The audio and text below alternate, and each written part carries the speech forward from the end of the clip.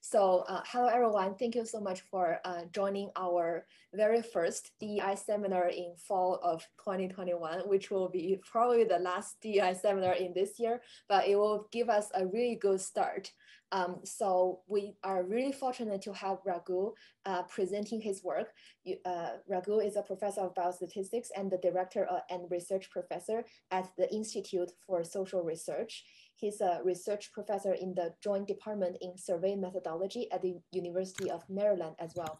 He also directs the Biostatistics Collaborative and Methodology Research Core, uh, a research unit designed to foster collaborative and methodological research with the researchers in other departments in the School of Public Health and other allied uh, schools.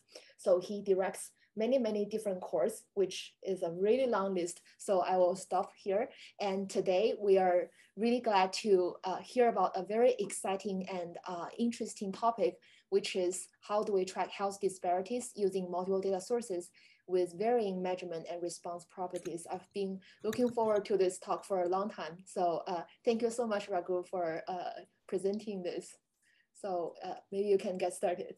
Okay, good. Thank you. Thank you very much for that uh, nice introduction. And um, so this is sort of a continuation of the, my work I've been doing on uh, measuring the health disparities using multiple data sources. And, um, and so I will present some of these new work that I've been doing, and then uh, we'll have a, a time for discussion at the end. So Okay, I don't know why it is not advancing. Okay, good.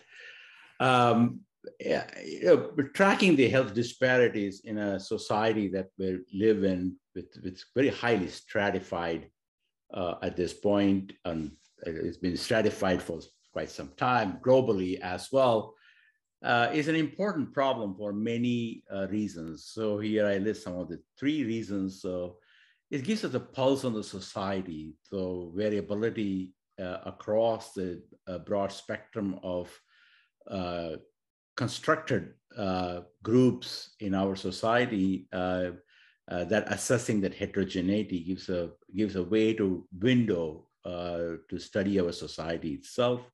It may be useful for policy development and also for uh, cost and economic considerations. So there are a variety of reasons why we should be reading, uh, looking at this uh, health disparities across various groups over, uh, over time. The number of issues that comes up in uh, when we are talking about tracking health disparity uh, is how do we measure health and how do we define the groups to be tracked and how to define disparities. What does it mean by disparity?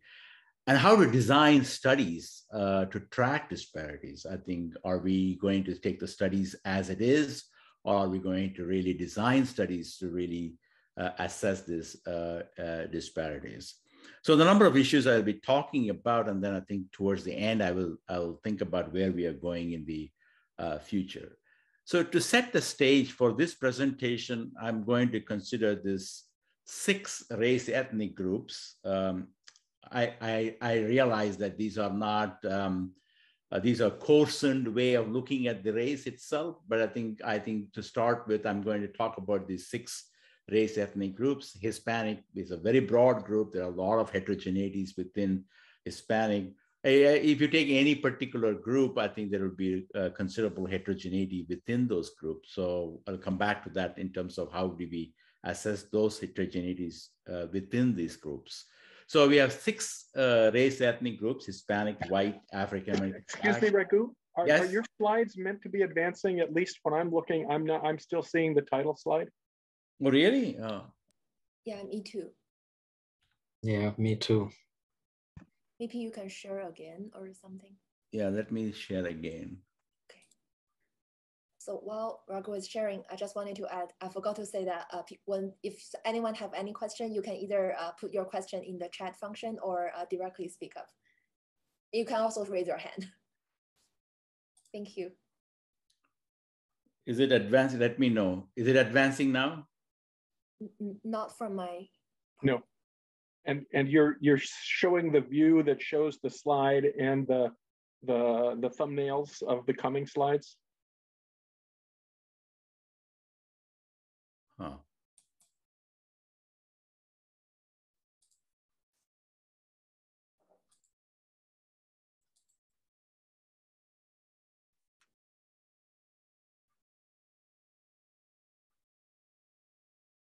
I, um, so the when I when I start the um,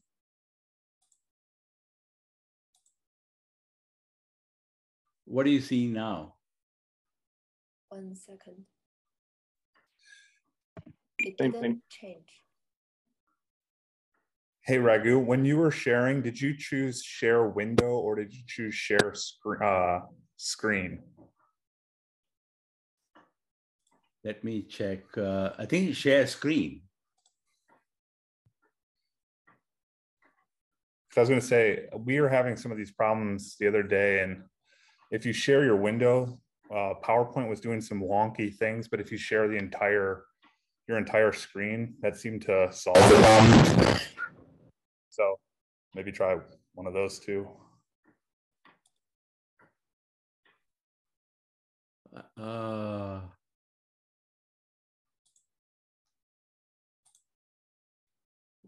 no, I think I think um, I am sharing the. Now we see the presentation view. Yes. Oh, did you see the presentation view?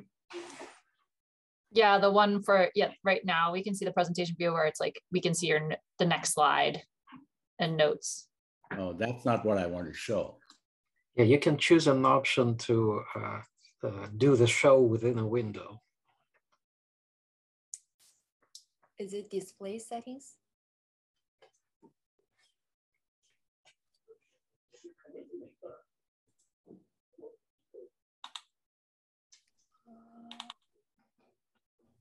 Okay, sorry. Uh, Does anyone know how to show full screen? Okay, is it showing now? My, what is it showing now? There's there's a slideshow menu option.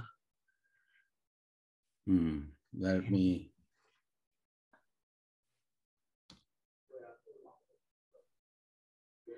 And then there's uh, an icon setup slideshow. And there you can choose browse by an individual window.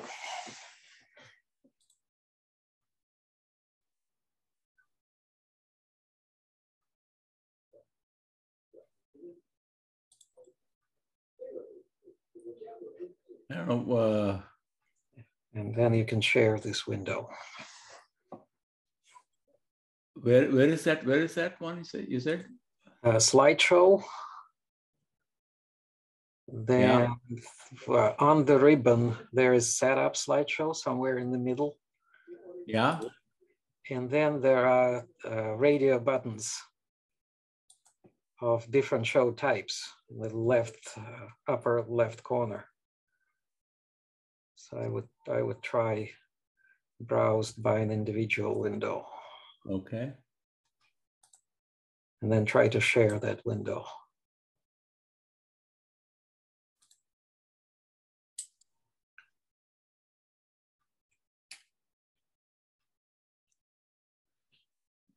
Okay, now let me- share again. Uh,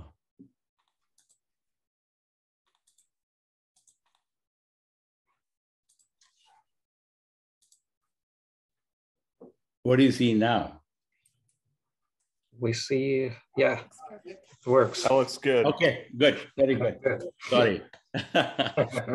Okay, so, um, so the, for this presentation, I'm going, going to force on, for- uh, take the six race ethnic groups, Hispanic, white, African-American, Black, Asian, American Indian, Alaskan Native, on other or multi-race. And I know that each one of these are sort of a very heterogeneous group, but I'm taking them as an example to illustrate the issues in terms of how to define the groups to be uh, tracked. I'm also going to take the one aspect of the health, which is the uh, diabetes. Um, and I know that there are lots and lots of other, other health conditions, matters uh, we should be considering them all of them together. But I think for the for the time being, focus on diabetes. I'm going to taking this 12 year window, uh, the time period 2009 to 2020. Now, what are the data sources that people use in terms of tracking the um, uh, health disparities? Are these large scale national probability surveys? And uh, I think uh, one may not have noticed that, but I think these national probability surveys enshrine the DEI principles. So every subject has a positive probability of being included in the sample that addresses the issue of inclusiveness. Uh, and typically we go for the, uh, the designs called as EPSEM designs, equal probability selection method that everybody has a same probability of being included in the sample that addresses the sort of an equity concerns.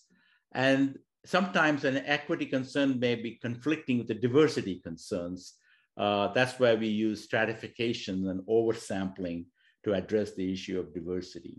So, um, so these, maybe I think we have, I'm recasting it, but I think these principles uh, of designing the national probability surveys has been the hallmark uh, um, of, of, of, our, of our field enshrining the principles of DEI. Um, there are other data sources that are available nowadays in terms of administrative data sources. And now I think we have all these panel surveys. These are sort of a professional respondents. You recruit a panel and bombard them with a couple of surveys every month or so, and they fill it out. These are these panel could be constituted based on probability uh, based sample, or it could be opt-in or volunteer or special purpose like nurses health study or British doctor study and so on. Uh, these are all other data sources, but I think the, um, you know, the, the kind of, we don't know what the properties of those um, those data sources are, but I think those are becoming more and more uh, available. But none of these designs are ideal for studying disparity. Uh, why? Because in order to assess the group difference, uh, we all know that because we do that in a randomized clinical trial, is that uh, if you go to FDA, you need to make sure that you have equal sample sizes in the control and the treatment group. I don't think the um, FDA would accept saying that I'm going to have a fifth of the sample size for the controls and I'm going to have all others in the treatment control treatment group. So, so to assess the group difference, we need equal sample sizes across these groups. And there is no survey that does this equal uh, sample sizes. So we need to really account for the differences in the variability in the assessing the prevalence rates or whatever, whatever we are comparing across these groups.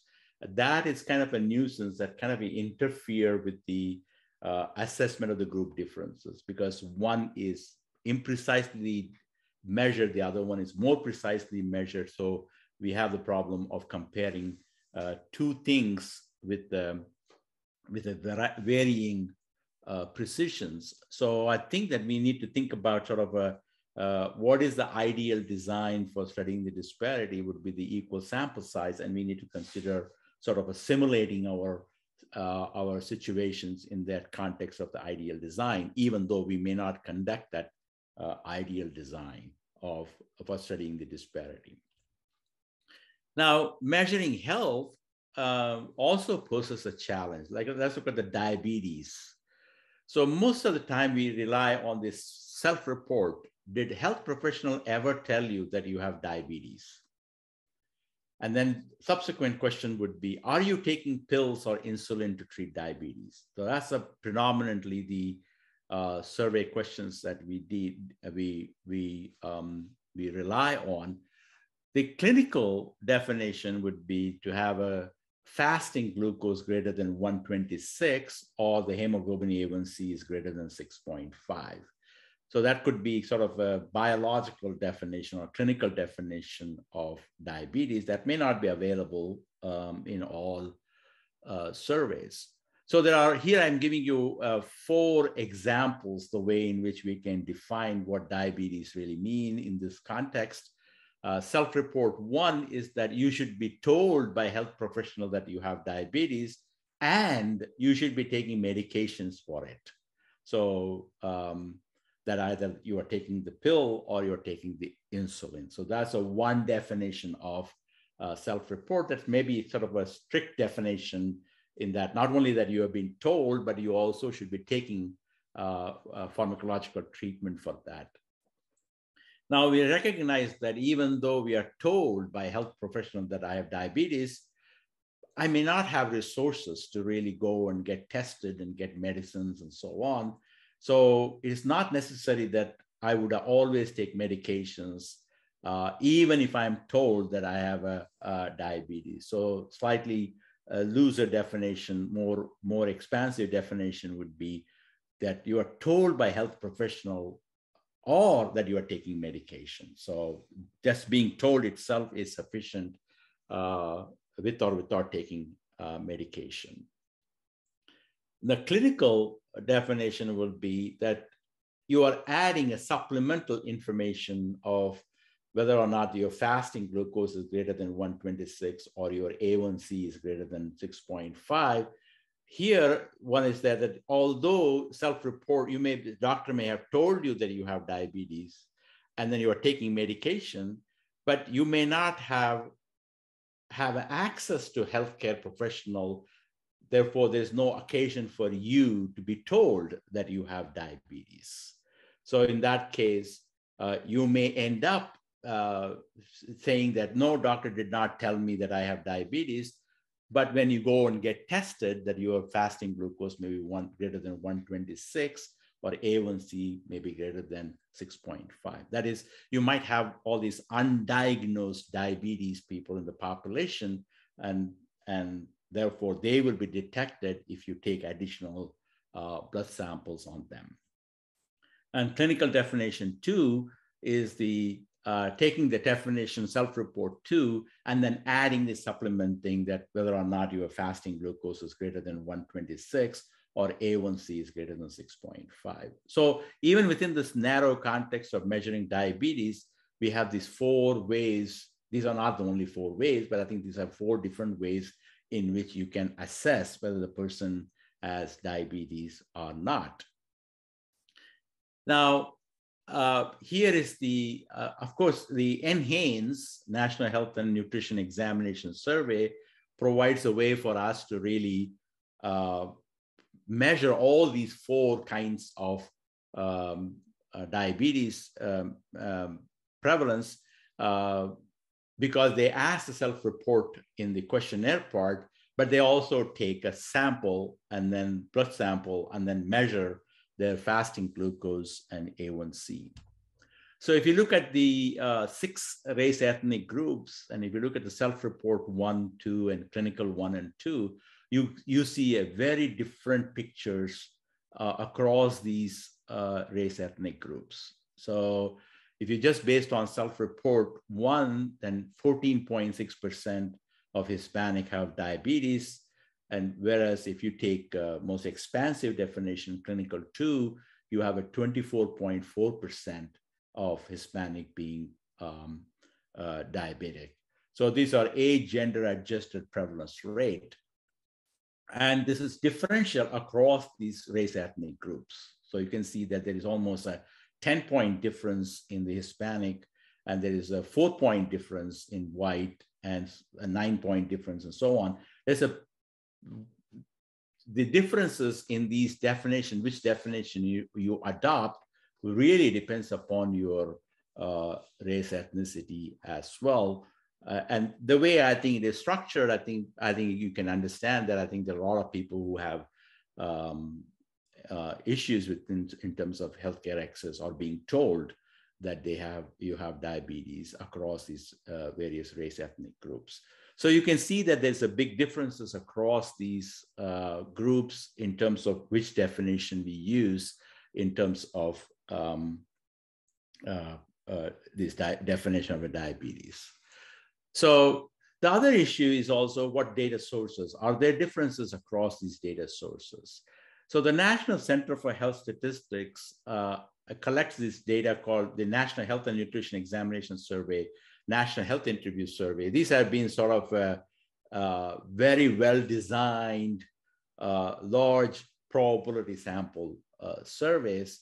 But if you take the uh, recently, National Center for Health Statistics has been using uh, what is called as a panel survey. So one of the panel is the NORC has the AmeriSpeak span uh, panel, which is I think our University of Michigan also uses that panel uh, um, to measure some of these uh, some of these health health related issues, and they have been sort of uh, experimenting with the panel surveys um, in 2015 and 16, and also in 2019 uh, where by, by recruiting members from this panel, these are all panels, they have been uh, participating in variety of surveys over time, and, and they ask the same questions as in HIS or NHANES.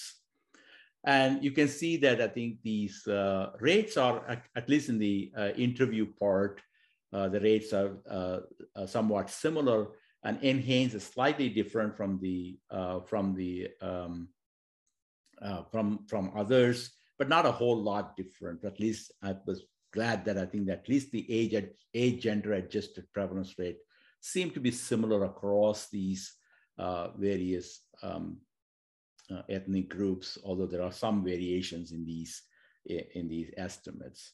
The same thing happens uh, in in some in uh, self-report too that you can see that NHANES uh, provides a higher uh, prevalence rate than compared to all other uh, surveys. Uh, that may be because I think in this, in, because it is a national health and nutrition examination survey, maybe they know that they are going to be measured uh, uh, for their blood pressure, for their diabetes. So maybe I think they have a better recall properties or not but I don't know. I think there are some differences across these um, these studies, but in NHANES in particular seem to be somewhat different.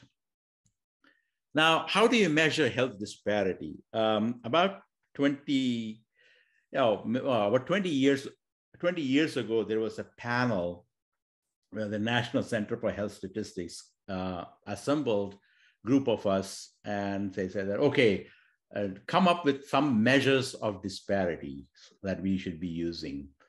And essentially, I think they have a G groups, and then you have a prevalence rates for those G groups, and then you want to come up with a measure of disparity. And there are lots of uh, measures of disparities that were discussed during these uh, two-day workshop, and and then so many, so many things, so many measures. Essentially, I think it is a measurements any kind of a discrepancy across these G prevalence rate. And then, uh, and then a year later, uh, there was a panel by European Union and World Health, World Health Organization, where also I participated. They also come, they also asked about how do we measure the disparities and so on. So I wrote an article in 2006 based on that uh, work where I proposed these three measures of disparities. So so one is sort of a social justice perspective is that, is that what is the maximal difference between uh, across these G prevalence rate? So the highest minus the lowest value. That means that as long as that discrepancy is there where, where there is no equity there, so therefore the rates are not uh, uh, similar across. So the largest minus the smallest difference uh, gives us a window of that pulse on that uh, discrepancy. Now, I think I don't think this is a great measure in, in some sense. Uh, if you're talking about obesity, you can reduce this social justice by everybody becoming obese. So, uh, therefore, if everybody becomes obese, and then there is no discrepancy. That's not a it's not a good measure, but it's measures sensitive to whether you're talking about the good outcome or a bad outcome. Um, the then the other one is a public health target base. So there is a target rate you can fix and then, and then see whether or not we are meeting that target rate. So theta G, the largest one, minus the target rate, and that could be used as a measure of disparity that that we haven't achieved that target rate uh, in a global sense. The other one I liked about was that also the burden of disease is that which group is far away from the average. Uh, and then the largest difference, that group that is farthest away from the overall mean, that means that that is, that is bearing the burden of the disease. Therefore, that may be a one way of measuring the burden of disease. So in this, in this context, I'm going to focus only on the first, uh, first and the last because I don't have any target rate for what should be the target rate for the diabetes. So, so delta SE from the social equity perspective and the burden of disease perspective. These are the two measures uh, that we want to, uh, uh, I'm going to focus on for, for now. So here is the uh, model that I used in order to assess, to obtain the posterior distribution of those discrepancy measures. So if I have a PIG, the age gender adjusted prevalence rate for group G from study I, then I use this uh, arc sine transformation for normality, uh, which is normal with sine inverse of square root of theta g sigma square. Uh, theta g is uniform 0, 1, and the log of sigma is uh, very flat prior, diffuse flat prior for that. So here I'm using the, uh, the kind of, you can think of this as a simulating under the equally weighted rates. So simulating under the equal sample size design. So although my sample, sample, sample sizes are not same, so I'm taking the estimated rate and I'm pretending that what would happen if I had done the equal sample size uh, design, because that's an ideal design for uh, measuring the uh, discrepancy. Otherwise, I think the sampling variability will, in, will, will, will uh, differences in the sampling variability will interfere with assessing what, what the uh, what the situation is actually in the population if I had taken the equally equal sample size design. So if this is the estimated rate pulling across all the data sources uh, in 2015, 16, so I have the two panel surveys, then I have a two NIH, NHIS surveys, then I have a uh, one NHANES survey. So if I take out these, so you can, this is the report and uh, self-report one for the rate and self-report two rate.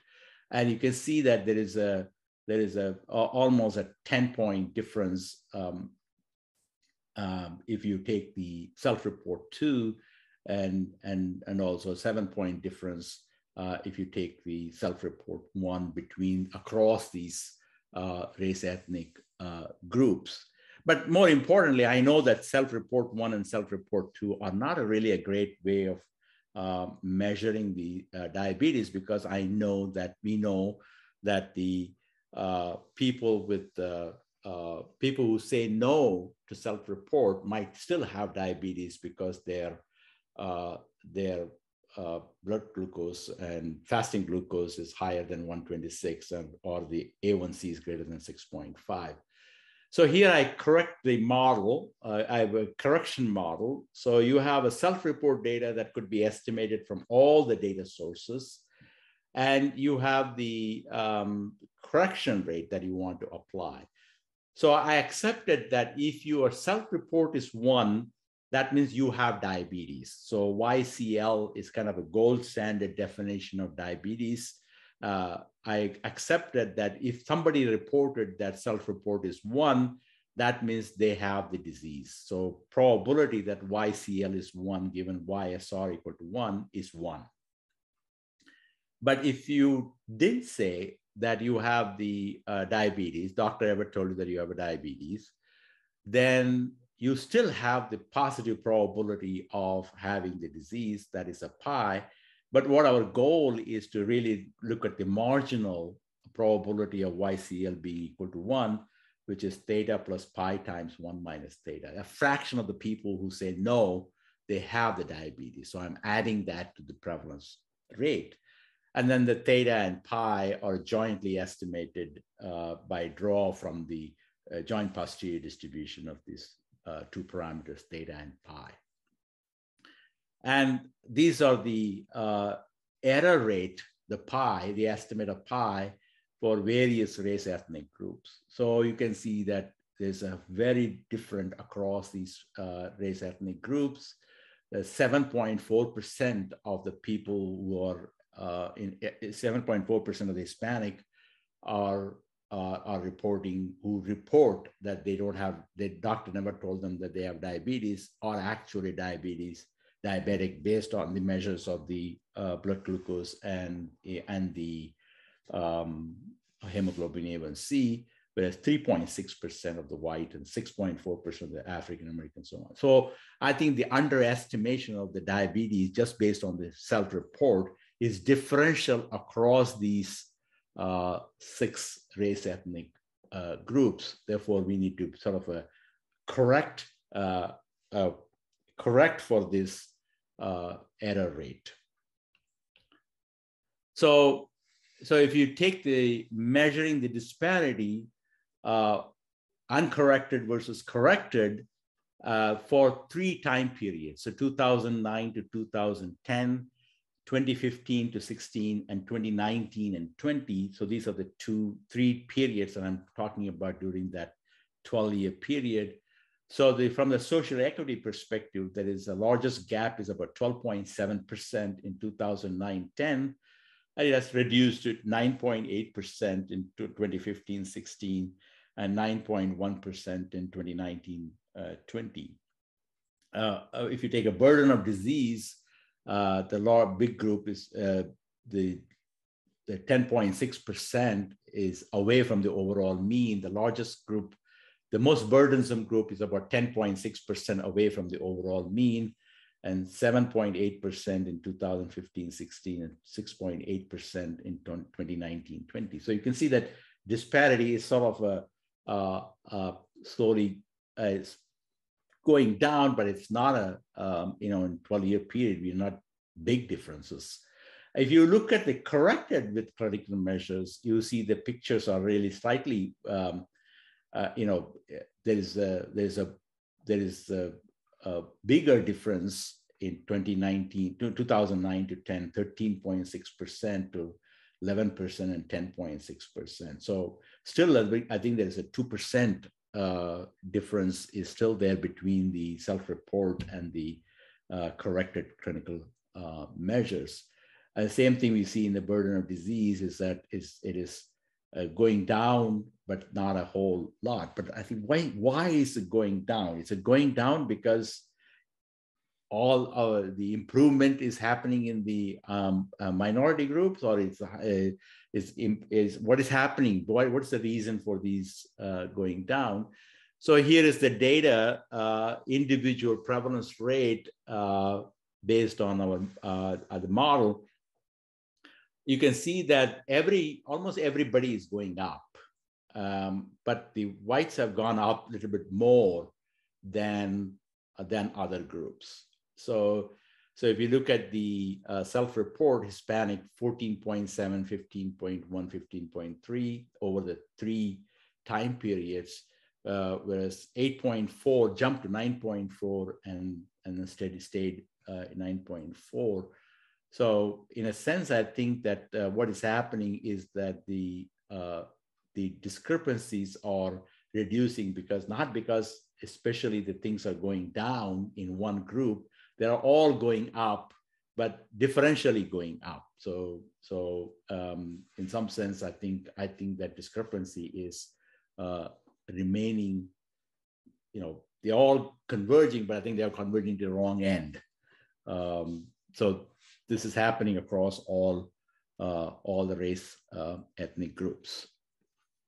So, so it's not that I think we are we are uh, controlling the diabetes, but I think we are all going up in a very different rates so that the, it, the any of the discrepancy measures are giving you that uh, big dif the differences, but but underlying the differences is that I think we are all uh, becoming a little bit more diabetic.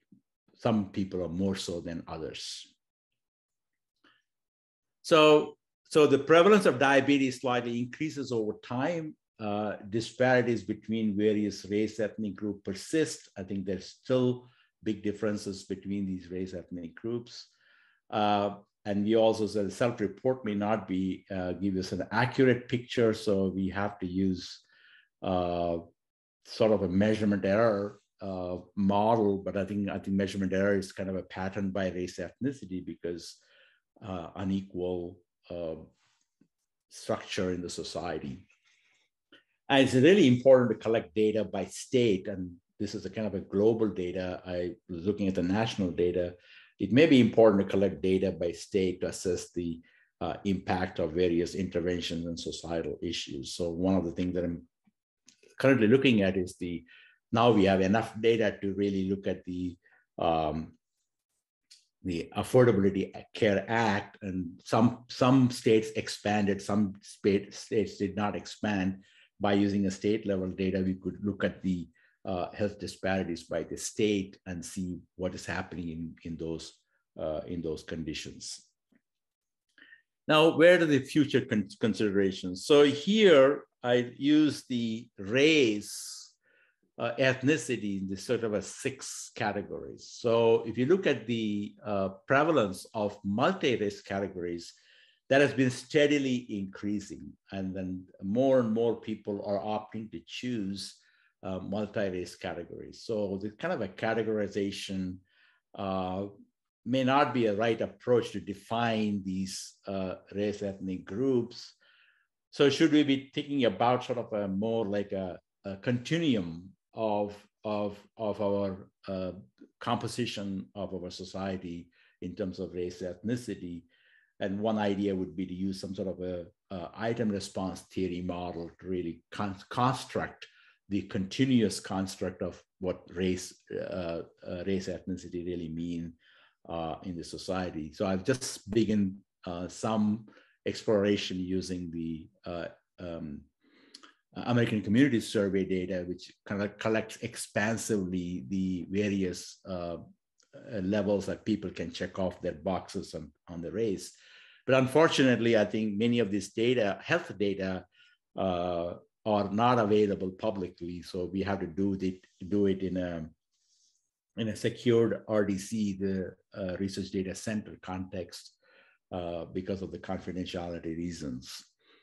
Uh, health is also a multifaceted concept. So how do we assess the health? I've just took the diabetes, but there are many inputs to it, disease, risk factors, and health behaviors so here I'm, I'm introducing, uh, I'm looking at the concept of using some sort of an uh, IRT models, the item response theory models to develop the construct of health, taking the diseases as inputs, uh, risk factors as inputs, and health behaviors as inputs to get a multi-dimensional construct of what the health really means uh, with the dimensions being whether you have a diseases, whether you have risk factors, or whether you have a conducive or non-conducive health behaviors.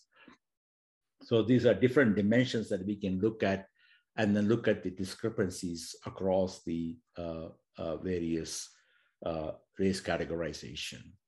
Um, these are some of the uh, future work that I'm, I'm um, really considering.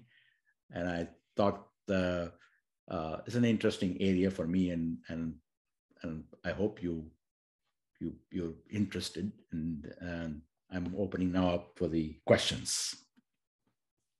Thank you so much, Raghu, for such an interesting discussion. Uh, any questions from the audience? I, I have a starting question to warm up. So uh, can you talk a little bit more about what is a item response theory? Uh, the item response theory is something that is used in the educational assessment. So for example, if you're taking uh, uh, uh SAT or GRE or any of these assessment, uh, you are given um, set of questions and based on that questions, they estimate your ability or um, so it's kind of a latent variable modeling. There's a latent construct called race. I'm trying to, I'm going to assess that by, by the options that you choose. Um, oh. The same way I think the, uh, the diseases, risk factors, health behaviors you have, uh, there's a there's a latent construct called health that I'm trying to assess using that using that uh, model. I see. That's very helpful. Thank you. Looks like Lars raised his hand. Yes. Um, thank you, Raghu, for this very nice presentation. Um, I learned a lot. Um, when you presented this correction approach, I wonder how representative are individuals that have a clinical diagnosis and self-report data compared to the people who only have self-report data? Um, so can yeah. we really use the one as a proxy for the others? Yeah, so all these rates are age gender adjusted. I think I think if you look at the age and gender, um, they are very similar, or there's slight differences there, but I adjusted for age gender age and gender differences. So these are all age gender adjusted prevalence rates. So now in terms of differences, um, what do you mean? Can you give me an example of what differences you're thinking about? When you introduced this um, um, correction factor in the beginning, it kind of there was this discrepancy between a clinical test and people who self-reported. Um, yeah, this slide here. Oh, you, next one. I'm not sure which one it was. Yeah. But it kind of use the individuals where you have clinical data and self-report data, both to identify individuals where there's a discrepancy between the clinical diagnosis and self-report. Oh, so they're all the same subjects in the survey data. In, they're all coming from NHANES. Oh, okay. So in the survey part, they ask questions whether you have diabetes or not, and then then they they they take a lab they take a draw blood and then they fasting blood then they assess whether they have a their fasting glucose is greater than 126 or their a1c is greater than 6 6.5 uh, these are nationally representative sample okay. and those clinical tests that are randomly selected for those individuals or is it yes. done for every yes okay thank you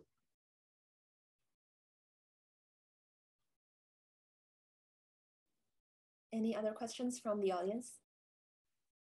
I, I have a, another question. So when you talk about the measuring health disparity, where you have three um, measurements, um, I, I, I, recently heard of things like um, doing something almost like a uh, like a counterfactual type of the prevalence rates in each group. For example, uh, uh, suppose I am looking at uh, one particular group. And then I would say, uh, what's the difference? Uh, I don't know, how, uh, something like, suppose I have a reference group, and then what's the difference in the prevalence, prevalence, prevalence rates had everybody been in that reference group or versus another uh, race group? Yeah, um, yeah. I think the problem. I think I think um, there you have to choose one reference group. That's right, yeah. Mm-hmm. Right. And um, so here, these measures kind of avoid that problem of what the reference group should be. Mm-hmm. So, so I'm, I'm just looking at these as, as sort of a, where is the gap? What is the largest gap? Mm-hmm. Right. Uh, as far as, as long as that largest gap is there, then there is a discrepancy, there is a disparity. Mm-hmm. Yeah, I see. And as long as there is a one group which is uh, which is bearing the burden of disease, being far away from the overall rate, I don't know which group it is, but I think as long as the group is there, then I have a, I think that there's a measure of discrepancy. Mm-hmm. I see. Yeah, that makes sense. Any other questions? So Yajen has a question. Thanks, Raghu. I, I have been hearing this project for many years. Did you think about geography? Like, can you create these indices across areas? Yes, yes. I think that's a, that's the thing that I'm, I'm looking at the state level data at this point and see whether I can construct these um, um, these estimates or these discrepancies across the states um, within a state and then looking at the distribution of these discrepancies across the state. So I'm, I'm, I'm currently looking at that uh, using the HIS data because the, unfortunately, I think the correction data is available only in, in NHANES and that I think they don't have a state level indicators in the data. So I'm, I'm trying to get that state level data for that, for that as well. I see. Interesting. So you have to rely on NHANES on that. And then for the other like administrative data, do you think that you can get like national level or from census? Yes. So, so there is there is um, there is a um, in um, electronic health record data is being collected from various states in um, in um, in by NCHS. So that might be another opportunity to look at that data as well. I see. But the because problem is that I think they are we we're not sure whether it's a randomly selected individuals or they are coming for some specific uh, reasons and how, yeah. how, how far they are generalizable. Yes, I I see there are like Philippa Clarke's work. So she is creating adversity index on the census tract level. So using the ACS data. And there's another measure called the deprivation index, trying to accommodate with the SES measures. But I feel like it could be cool to have a house disparity measure on the census tract level. Then when you evaluate the neighborhood effect, that would be right. an important predictor. Yeah, yeah, yeah. But I think you can see that I haven't really looked at the education or any of those other variables here because I consider all of them to be outcomes. And I have a difficulty in, in some of the epidemiology analysis where they adjust for education. I, I don't think that the high school education from a, from a school which has a dilapidated buildings and poor infrastructure and very poor uh, teacher resources and so on, teaching resources, teacher resources, is anyway equivalent to high school education in an affluent neighborhood and, and putting them all as one education variable. So that's kind of a surrogate for the way we are structured in our society, uh, in a segregated society that we are structured in. So I don't see that education from, from for the whites, predominantly whites, and education from predominantly black, they're kind of uh, same.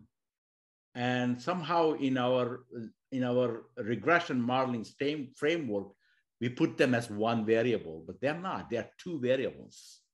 Uh, one is measured for only one, uh, one race group, the other one is measured for other race group, but they're not the same. So, so, so I have a problem in, so, in terms of uh, using the socioeconomic status or using the education or any of these things that I think um, have those kinds of uh, issues in terms of there are two different variables and the definition of the variables itself is different. So exactly the self-report is not the same definition, same variable for everybody. Self-report is different variable for different people. So therefore, if you are assessing diabetes and you have to really be tailored to the knowing that there are differences in, in, in the way I think what the question means to people. Oh, thank you. So then when you merge data, you have to consider all these sources. Yes. Yes. Yeah. Thank you. Yeah, Irina. You're muted.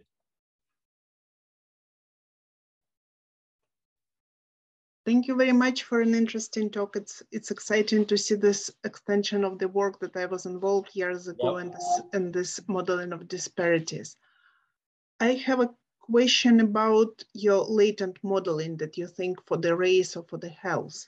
Mm-hmm. And you, you mentioned that you consider the IRT models, like assuming one latent variable, right, on the continuum.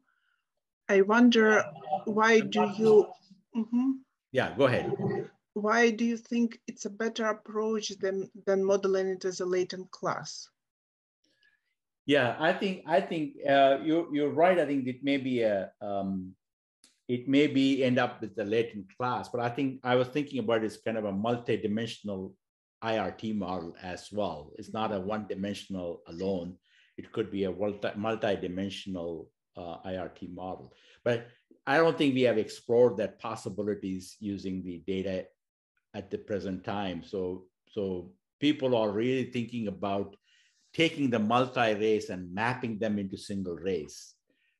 I think that that may be a backward technology. I think I think we may want to go from the from multi-race to really think about what it means in the context of the social construct. And maybe the latent class might be one way of doing it, or multi-dimensional IRT models might be another way of thinking about this, uh, about it.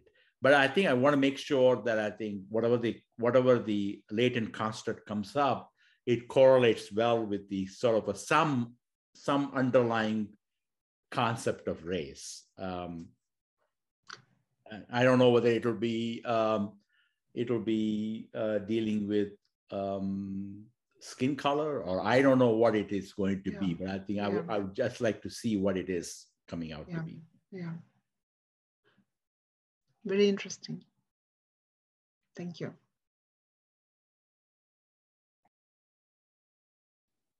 Any other questions? I have another question. I recently uh, also learned about uh, something like when so when we when you go through like the self-report, uh, when you say ask people questions, is there any like non-response? How do you deal with non-response? Um, yes, I think I think there are uh, in this. Uh, fortunately, in these data, I think there are very little item non-response, um, and and here also they ask about, uh, did doctor ever tell you that you have a diabetes? You have a three options. The option mm-hmm. is that yes, no, borderline. Borderline is like all the, the their uh, glucose level and things. Yeah, so there's, uh, yeah, I think doctor may have said that, oh, you have a borderline diabetes, you know. But I consider, for this definition, I consider them to be non-diabetic unless they have the um, glucose data, which says that their, their fasting glucose is greater than 126 or their hemoglobin A1C is greater than 6.5. But that's a critical piece of uh, clinical measures that we need in order for, for us to really uh, calibrate this self-report data. And, and Irina was talking about, we also looked at the uh, in in old paper, we also looked at the hypertension. Uh, so you may say that doctor ever tell you that you have a hypertension. You may say no, but when we measure you, uh, systolic blood pressure, diastolic blood pressure, you might have blood pressure as well. So in many diseases, this plays out uh, because of the um, the way I think access to healthcare or uh, ability to get the care, ability to sort of take time off and go and get measured and take care is very, very differential across the race ethnic groups. Yes. Yeah, it's a very important question. So um, any other questions? I also wanted to uh, remind people, uh, please uh, sign in using the uh, uh, the the link that we put in the chat.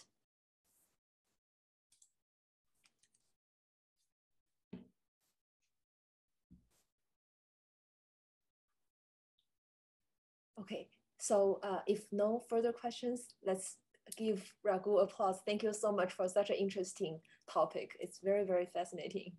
Thank you. Thank you, everyone. Thank you. Okay, yeah, thank you, everyone. So we will, uh, so the uh, uh, talk is recorded. Raghu, are you okay with uh, if someone wants to watch the recording, we can share with them the link? Oh, sure. Okay, great. Thank you so much. Yeah, okay, thank you.